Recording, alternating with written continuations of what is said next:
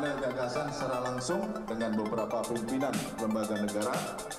agar mendapatkan persepsi dan pemahaman yang